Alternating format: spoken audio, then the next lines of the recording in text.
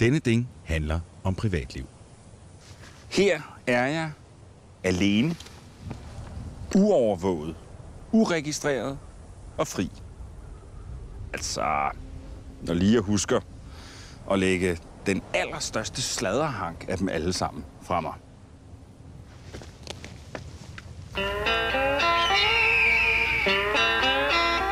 I was born in the desert, came from New Orleans. Året er 2014, og med mindre du meget bevidst gør dig meget umage, så er der intet af det, du foretager dig digitalt, der med sikkerhed er privat og helt dit eget. Jeg er på vej til DEFCON. Det er verdens mest berømte og berygtede hacker-kongres. Det er sådan noget for folk, der lirker, pirker og dirker i alle de revner, der er overalt i den digitale verden. Om de er gode eller onde? Ja, fælles for dem er, at de er nysgerrige. En ting, vi har lært fra Snowden, er, at sølvpapirshattene, de paranoide, ja, de langt hen ad vejen havde ret. Altså med mindre du som jeg er borger i Danmark, hvor der jo ikke er grund til at tro, at der finder ulovlig aflytning sted. Det allervigtigste for mig øh, er igen at understrege, at PET ikke har grund til at tro, at der fra amerikansk side gennemføres ulovlig overvågning. rettet mod Danmark eller danske interesser.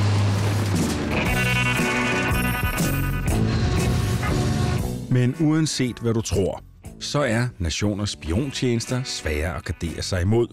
Også selvom du ikke har noget at skjule. Der, hvor vi selv kan gøre noget i første omgang, det er ved at kigge lidt indad. Kigge på de ting, som vi selv lægger af private oplysninger til denne verdens Facebooker og Googler og hjemmesider og tjenester og apps. For selvom noget er gratis, er der jo stadig en regning, der skal betales et eller andet sted.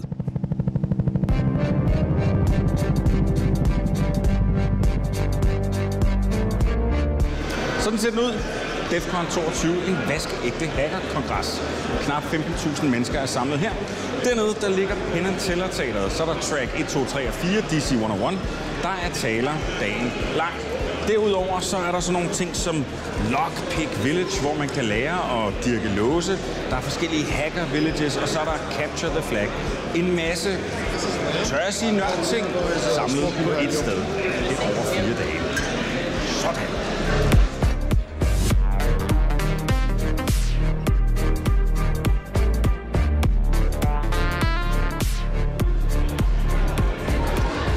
Du skal bruge en krypteret forbindelse. For hvis ikke du gør det, så kan der ske det her. Det er Wall of Sheep. Og her der er det de søde fyre, der viser frem, hvordan de ved at sniffe trafikken, der løber igennem wifi, kan fange dit login, dit password, den tjeneste, du forbinder til, om det er hjemmesider, om det er mail eller chats, og så din maskines MAC-adresse. So these are people that are actually present here. Yes. That has have been sniffed here. Correct. Across the public Wi-Fi, Yeah. everybody comes here. They know that the, the Wi-Fi is is being monitored passively. We're just watching, listening, you know, Yeah. seeing what's going on. Um, every year, there's new people that are very interested in security, and they come to a conference or, and they don't lock things down. But this could happen in Starbucks or in the airport It, or it absolutely does happen in Starbucks, airports, other different types of places like that, where they have free, publicly accessible internet access. Tænk dig om, inden du bruger wifi. Og tænk på ukrypteret trafik som en samtale i bussen. Så er den vist vinget af.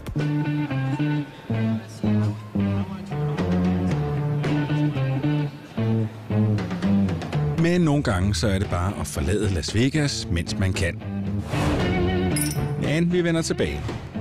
Jeg er på vej til Los Angeles for at mødes med Sami Kamkar, whistleblower, hacker, sikkerhedsekspert og entreprenør, der allerede som 17-årig fik 1.500 millioner i kapitalindskud til sit første firma.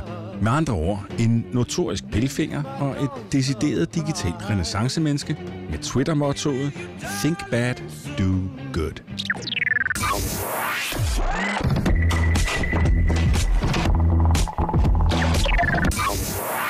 Right now, I'm, I'm doing a, I'm building actually a lot of stuff with drones. Uh, even as even as security related devices, they're very interesting. You know, you could connect anything like um, the Skyjack thing that I created. You can hook that up on here, and this could fly around and hack into drones. You could use the same Raspberry Pi system and a little additional software and start seeing what people are doing on the ground, right? Seeing what their cell phones are doing, what their laptops are doing, sniffing that communication, even hijacking that communication. Flyve rundt og suge data. Om en, om en, om en, om. Wi-Fi er bekvemt, men usikkert designet. For har en dims en gang forbundet til netværket default eller free public Wi-Fi, ja, så gør den det glædeligt igen. Også selvom det ikke er det samme netværk. Den her gang er det mig, der har opsat netværket, og nu er det mig, der bestemmer. I have this thing, and I can I can take over network communication from people's phones when they're in the park or somewhere in the city. What could I do with that? Yeah, if you're malicious, you could do a lot of things. You know, if they're downloading software, you could have them download your software. You could make them download software without even requesting it. You know, when they go to a website, you could say, oh, you need a new package The to update, exactly. You need an update to, to view this site. Make it very small, quick, easy, painless, and you now have full control of their device. Flyvende hackerdroner lyder som sci-fi, men er det altså ikke. Men mindre kan også gøre det. Meget mindre. Som eksempelvis en personsøger og lidt hjemmesnittet software. So with this actually, you know, pink little pager, I can Yeah. sit outside of the garage, and when someone walks in or, or they drive through and they turn on their garage gate, it listens for that, stores it, and then I can replay it later. And I can later get in the garage without them being there, um, just from a $30 device. Men Samis mest kendte og nok også største hack, det foregik tilbage i 2005. Via huller i koden på den sociale MySpace hjemmeside, lykkedes det Sami at skabe verdens hurtigste virusinfektion. um, quickly I found there was a way that I could execute my own code on my profile. So anyone who would visit my profile, they would then execute code that their browser could then kind of do what I told their browser to do. For example, I could make them post a comment, I could make them do something bad like delete their own profile. So I launched that one night and I thought, okay, maybe in a month I'll have 100 new friends and some people will think it's funny, someone will get upset and complain, and my MySpace will remove it. And by the next morning, I saw I had 200 new people who, 200 new friends, all whom of which had been affected by this. I thought, oh no, it's a lot faster. it's spreading. Yeah, it's spreading. and you know, within an hour, another 200, um, and then it doubled. Uh, by midday, 10,000 people had been, you know, infected with this thing. And by the time I had gone home uh, at night, within 24 hours, you know, it had hit over a million people. Men en million nye venner og en af verdens på det tidspunkt førende hjemmeside i sort, den slags går ikke ubemærket hen. Four guys surround me, and then they just all show me badges. Um, and just like Electronics Crimes Task Force, Secret Service, Los Angeles District, District Attorney. And there's a dozen agents already in my place, going through everything. And they're taking everything with a piece of technology in it. Sami indrømmede alt og endte med 720 timers samfundstjeneste i form af skraldeopsamling og tre års forbud mod at røre en computer overhovedet. Um, so that was a sort of demonstration of how Web 2.0, how Ajax, all these new technologies could spread so quickly. And the interesting thing about this is I could have done something else. I could have made those million people send me their bank account credentials. I now understand this a little bit more than the average person. How can I demonstrate this in interesting ways? Not to scare people, but to show people what is possible. Sami er altså, bedyrer han, en af de gode hackere. Han har fået dask med linealen i en ung alder og bruger nu sin hackerhjerne til fælles bedste. Således beroliget drager vi tilbage mod Las Vegas og DEFCON.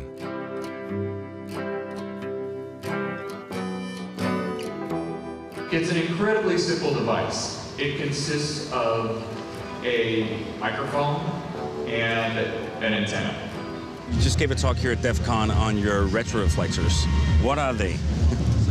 They're implants or, or bugs. They can be illuminated or irradiated by a, a, uh radio wave, and then they produce a return, a reflection that carries information. So this is a Yeah, USB sure. guy. That's a USB. This would be able Yep. to pick up any sort of slow USB data connection. Right. And you would be able to sit somewhere and, and monitor what's going on. And in on. particular, a good example of a slow USB device is a keyboard. So if one of these is installed in, in, a, in between a keyboard and a computer, then somebody with a radar system to illuminate the device and pick up the return can monitor the keystroke. And that could easily be actually implanted in the keyboard, like oh, you don't absolutely. need this connection. Det lyder helt kuk, og passive boks, der stort set er umulige at spore, fordi de er passive og kun returnerer information, når de bliver beamet udefra. Men den er skam god nok. Lev Theremin opfandt teknologien, der allerede blev brugt i 1945. Skjult i en gave fra det sovjetiske spejderkorps til den amerikanske ambassadør. Concealed inside a wooden carving of the Great Seal, presented as a gift by the Russians. Og der hang den så, en retroreflekterende mikrofon, i ambassadørens kontor de næste syv år, uden at blive opdaget. Og at teknologien RF retroreflektion findes som andet end gamle spionhistorier og hackerkonferencesølvpapirs hatte demoer, det kan man se i NSA's interne shoppingkatalog, som Der Spiegel via Snowden afslørede sidste år. Versace, trådløs, passiv overvågning af tastaturer og skærme.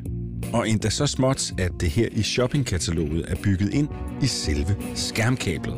There's pre-Snowden life and there's post-Snowden life. The contradictions of empire are normalized to invisibility. Privacy is like bacon. It makes everything better. Software security is still a big issue here as well. Now the business model of the entire internet is stockpiling, monitoring, and tracking your shit. The only way they can tell the truth is through fiction. En del af aktiviteterne på DEFCON, det er kun for de digitalt indvidede. Men rundt omkring findes der også helt klassiske analoge hacks, som man kan prøve kræfter med. Det her låsedirkeri, det har jeg, som de jo så tit gør inde i tv, snydt og forberedt mig på forhånd. Jeg var her nemlig også sidste år, og der købte jeg et låsedirkesæt med hjem. Og ja, det virker også på din hoveddør. Det virker i hvert fald på min egen. Og på en kammerat, som jeg har prøvet det på. Men det er jo ikke kun i den gamle, fysisk analoge verden, at der er alt mulig fornuft i at låse grundigt. Kryptering i den digitale verden er en af de måder, man sikrer sig, at ens private kommunikation og data forbliver privat. John Callas er en af verdens førende eksperter inden for området. Why do I need crypto? Well, crypto is very easy in that it does two things. It will mark information that you have so that only the people who have the right key can read it. And it can mark things with a seal so that you can know that you actually got it intact. Now, those are sort of the two Lego pieces that you can then go and build up very complex systems with. Can I trust crypto? I, I would say that crypto is one of the few things that you can trust. And Ed Snowden said the same thing. What, what we've learned from what's come out of the NSA revelations is that the other things that they've been doing, traffic analysis, social graph analysis, all of these other things, are being done because they can't break the crypto. The reason why you have a lock on your front door is to make the attacker use a crowbar or to make them throw a brick through the window. You make it so that they're going to do something other then unlock the front door. Du kan altså som privatperson gøre noget. Gør det mere besværligt ved at bruge kryptering. Men farne lurer ikke kun på og via nettet. En uskyldig udseende USB-port, eksempelvis et ladestik i en lufthavn, kan nemlig også bruges til at kompromittere din sikkerhed. Her demonstrerede i Las Vegas sidste år. I med stikket, strøm og spyware. Det er stadig din telefon, men det er mig, der styrer. Jeg medbragte et USB-stik på DEFCON. I would like to share some uh, holiday photos with you guys. I have them on this USB. Yes. Would any of you be uh, willing to put this into I, your I, own I don't computer? Think so. No. You, you can show them to me on your laptop, not mine. Really. No. Um, no. Mm, no. I don't trust USB. Nej, nej, nej, nej, nej. Vi vil ikke have noget med USB at gøre. For USB er helt grundlæggende ikke til at stole på. One of the things that people don't realize is USB sticks, along with other USB devices, carry within them their own micro environment of a CPU and a firmware and, and a lot of stuff in there.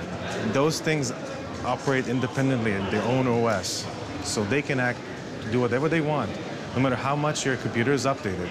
If the USB is infected, the antivirus will not be able to reach that state. Is there any way that I can actually for sure know that I'm not being spied on when I Yeah. communicate. What you're saying is this is our only secure line of communication. Well, I have a message for you. Okay, cool. Are, are we, are we supposed to uh, read this? okay. Okay. Me- message transmitted successfully. so, yes.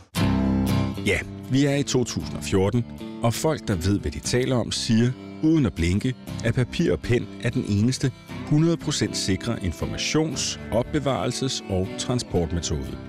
Sølvpapirshattene havde ret.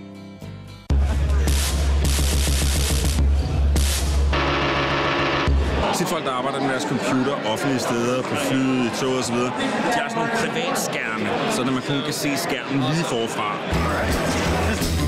Men på DEFCON er der altid nogen, der lige tager den et skridt videre. Opskriften på en super privat skærm er enkel. Man piller ganske enkelt det eksisterende polaroidfilter ud af skærmen og monterer det i et par briller. For alle andre ser skærmen uden polfilter helt hvid ud. Men set gennem brillerne, der jo er lavet af skærmens polfilter, ja, der ser den ud helt som den plejer. Men det er ikke kun ude i den store verden, man skal vogte sig for folk, der stikker næsen i ens sager. Sagen er, at der kommer stadig flere internetforbundne ting i vores hjem.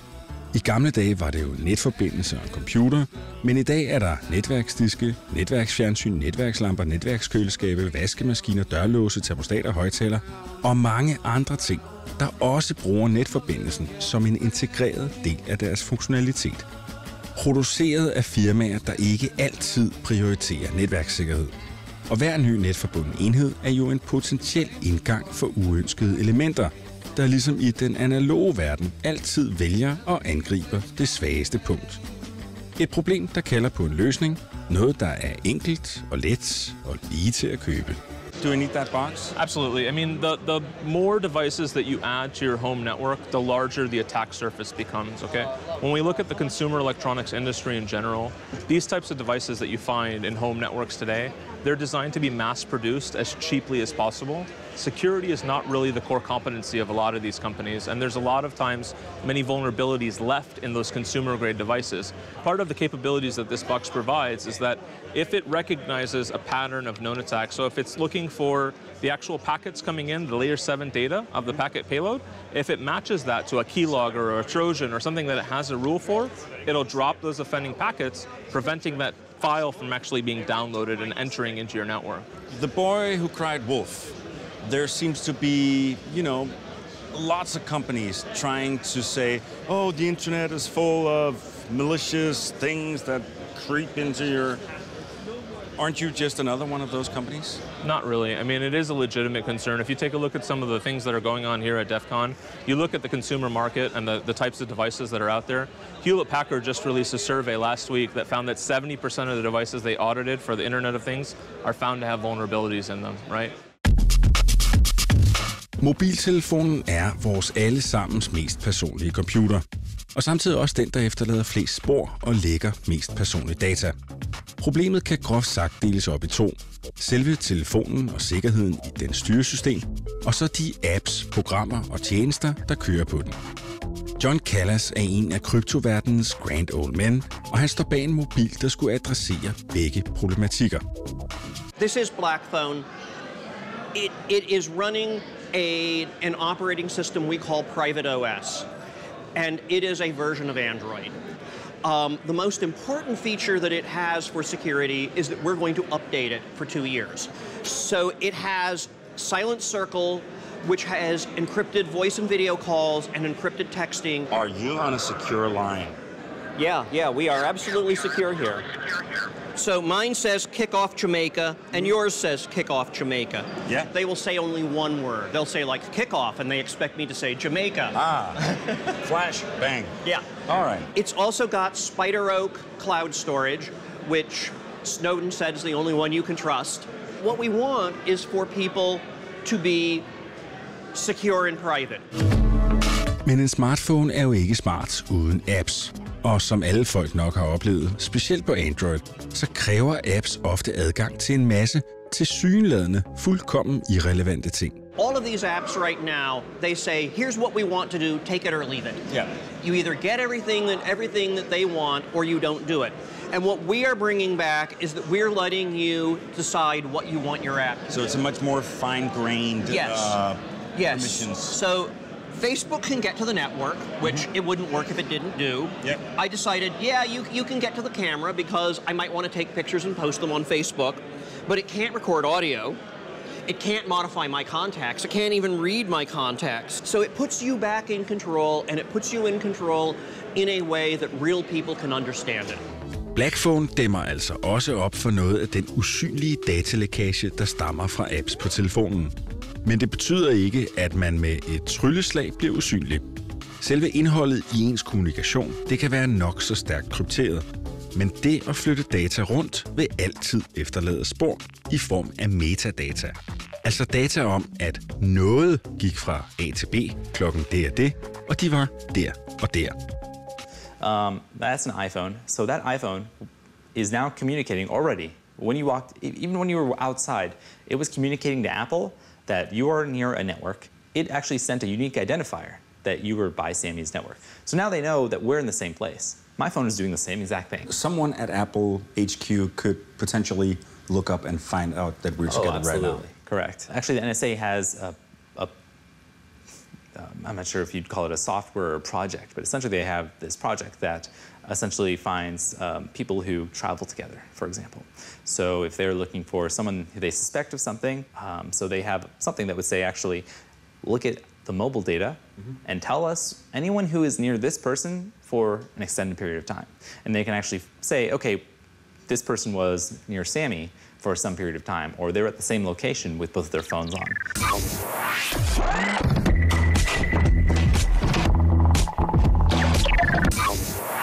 Jeg sidder her, og så tager jeg lige hurtigt en selfie, klik, og øh, poster på Twitter.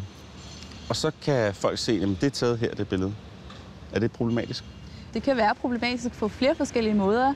Øh, Det man kan sige, det er, at der er rigtig mange, der argumenterer for, at metadata øh, ikke er, er noget, du kan skabe en værdi ud af. Og det kan du jo selvfølgelig, fordi at det fortæller dig rigtig meget om, hvor du er. Øh, og det, når du begynder at skalere det op og har alle mulige mønstre, hvor du har været de sidste år, og hvordan du har bevæget dig, begynder man at kunne udlede nogle konklusioner om, hvad er det for et liv, du, le- du lever, hvor er det, du bor, øh, hvem er det, du færdes hos, øh, og hvilke mennesker har du været sammen med. Og det er et lidt, et, øh, en lidt en sovepude at tro, at metadata ikke er, er vigtigt eller er harmløst. Vi tager lige en gang af en skuelighedsundervisning. På hjemmesiden appteachingprivacy.com kan man indtaste et Instagram- eller Twitter-navn, og så se, hvor der er instatweetet fra. Og således kan jeg på et par sekunder, uden at hacke noget som helst, få et rimelig godt billede af, hvor eksempelvis Paul Madsen og Henrik Kvartrup slår deres folder. Eller måske ligefrem hænger deres hat. Personligt, der er jeg jo stor forbruger af Googles tjenester. Jeg bruger Gmail, jeg bruger Docs, jeg bruger Plus og gemme mine billeder og alt sådan noget. Og jeg betaler ikke en krone. Er det ikke bare fantastisk? Øh, Meget tit er det jo sådan, at hvis man ikke øh, betaler for produktet, så er du nok produktet selv. Og rigtig mange virksomheder, de lever jo af at forstå deres brugere og indsamle data om deres brugere, så de kan få øh, tjene penge på annonce øh, og målretning og sælge deres data videre mm. på forskellige måder. Så det er jo øh, ikke kun Google, men alle mulige andre former for digitale virksomheder, hvor forretningsmodellen rent faktisk er at sælge data videre om dig. Det ser sort ud for dit digitale privatliv, men der er også små lys i mørket. Senest har Facebook åbnet for tilgang via Tor-netværket, og både Apple og Google har smidt deres kopi af din krypteringsnøgle væk, på trods af, at FBI slår sig i tøjet og endda trækker børnelokkerkortet. The notion that people will have devices, again, that with court orders based on a showing of probable cause in a case involving kidnapping or child exploitation or terrorism, alt, hvad jeg foretager mig digitalt, det skal jeg gå ud fra offentligt. Hvordan kommer vi hen til en verden, hvor det ikke er tilfældet? Jamen det gør vi jo ved at begynde at forstå, hvordan tingene hænger sammen rent teknisk, at alt er teknisk muligt, men også at begynde at forstå, at, at den lovgivning, vi har på området, jo bare ikke er tilstrækkelig. Og der er man jo nødt til at lægge noget pres på, på politikere og få dem i tale i forhold til, at de skal jo forstå naturen af det her. De skal forstå, hvad det er, vi har med at gøre.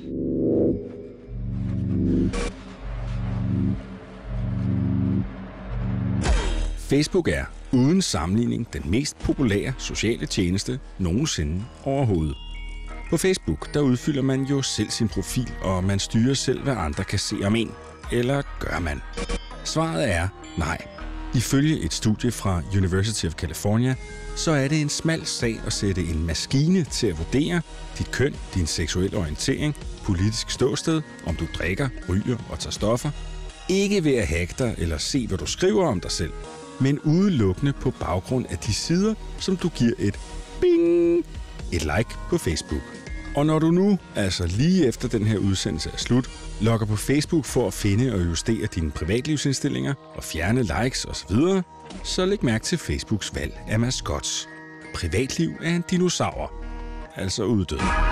Their intention is to create a social network and to create as many social connections as possible, I, I believe. Facebook doesn't want you to have a private profile. They don't. They want you to be an. They want you to have an open profile. More people will see information about you, and they'll say, "Oh, I know that guy. I know that bar." So I think they're going to make it harder. They. I think privacy is. Uh, privacy is not what they want. Hvis tjenesten er gratis, er det dig, der er produktet. Du betaler Facebooks regninger, du bliver handlet. Længere er den sådan set ikke. Men hvis bare du husker det, så er du i virkeligheden bedre rustet allerede der. Til det her program har jeg lavet en artikel med en masse links, og vi linker til den fra ja, vores Facebook. Jeg har gravet lidt i indstillingerne på min Google-konto, og dybt inde i maskinrummet, der fandt jeg den her placeringshistorik. Med den så kan jeg se, at jeg har været rundt i Danmark, jeg har været en tur i München, så har jeg været over i Las Vegas, jeg har været lidt rundt i Berlin, her er vi i Madrid. Det her, det ved jeg jo godt, og Google ved det åbenbart også.